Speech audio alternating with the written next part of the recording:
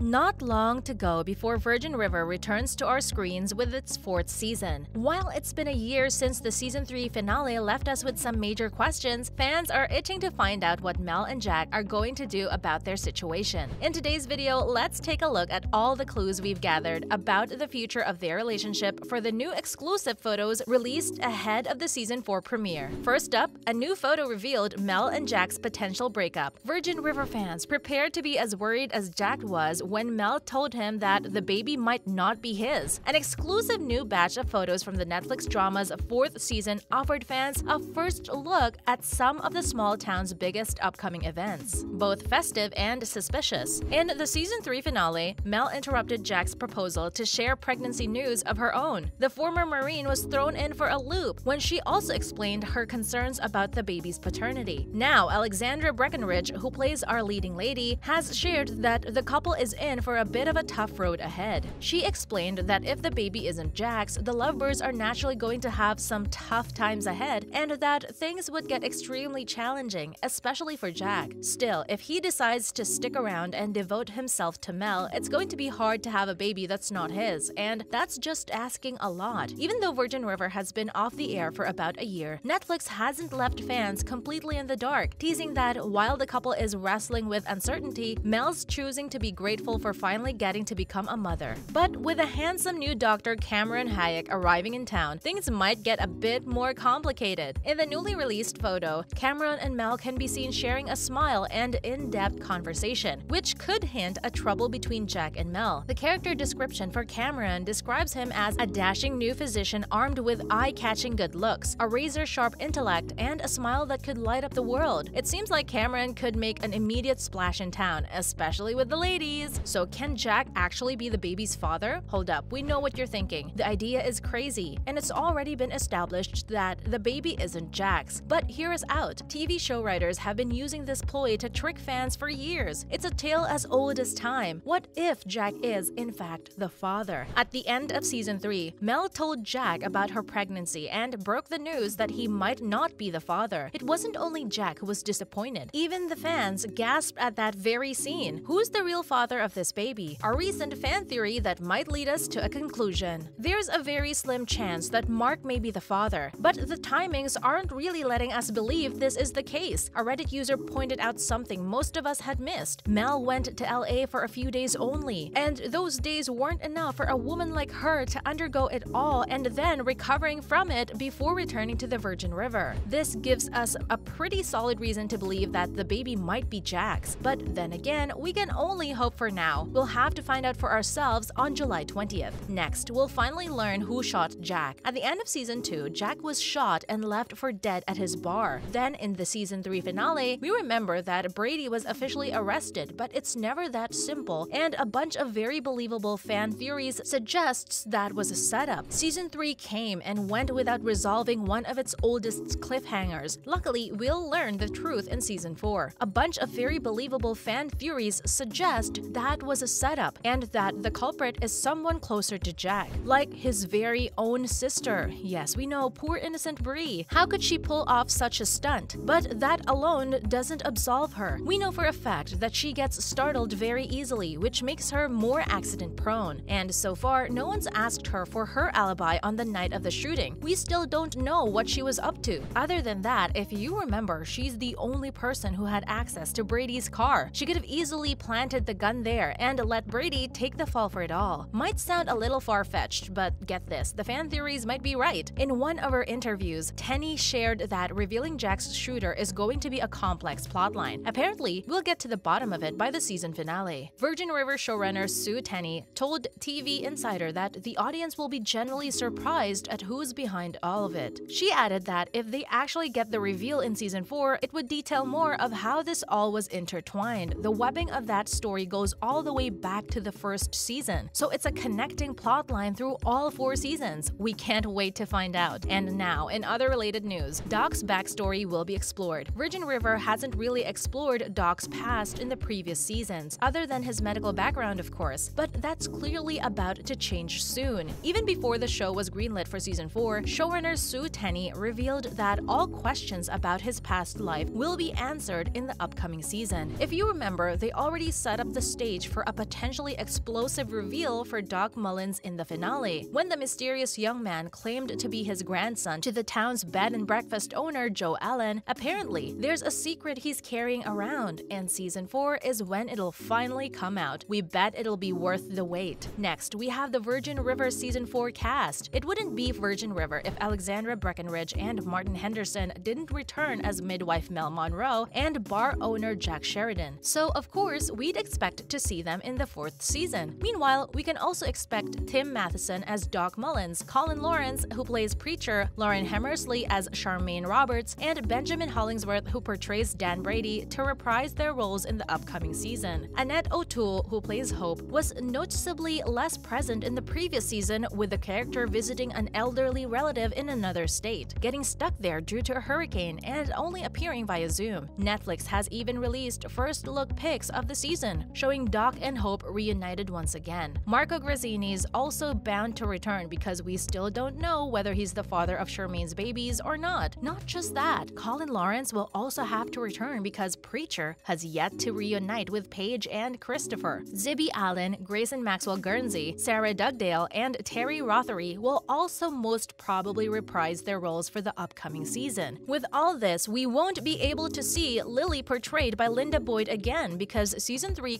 concluded with her death. However, it's still possible that we'll get to see her in flashbacks or maybe in dreams. You never know. We've our doubts about Christopher's reappearance in this season as well because we still have no idea whether he's alive or dead. Even if he's dead, he should appear in a scene or two, maybe as a dead body. As for new characters, Rains Mark Ghanimé has joined the cast as the town's brand new Dr. Cameron Hayek, who's expected to complicate the romantic situation for pregnant Mel. Meanwhile, the Motherland Fort Salem star Kai Bradbury, who was introduced as Doc's long-lost grandson Danny Cutler, is set to become a series regular. And finally, the Virgin River Season 4 release date. Virgin River is finally hitting on Netflix on Wednesday, the 20th of July. The new series will consist of 12-hour-long episodes, set to arrive all at once. Netflix confirmed they'd commissioned the romantic drama for a fourth series back in May, giving fans a first look at the upcoming episodes. Filming took place last year with Martin Henderson, who plays Jack on the show, revealing on Instagram that he was doing a little post-production work on season 4 back in November 2021. Meanwhile, the show has also been renewed for a fifth season. That being said, it doesn't seem as though we'll be seeing season 5 for quite a while, with Alexandra Breckenridge telling Glamour that production has been pushed to July due to scheduling conflicts with her other hit drama, This Is Us. She explained that the showrunners on This Is Us had been trying to get her to come back since she signed up to be on Virgin River. And then, when they were supposed to start shooting season 5 of Virgin River in March, it got pushed back to July. We're still waiting to find out what this delay could mean for the release of season 5. So, just in case you haven't watched Virgin River, open Netflix right now and do some major binge watching before season 4 hits the streaming app. And that's a wrap for this video. What do you think about Mel and Jack's breakup? And what are you expecting from the newest season? Let us know in the comment section down below. Don't forget to leave a thumbs up and subscribe to our channel for more videos like this. See you in the next video.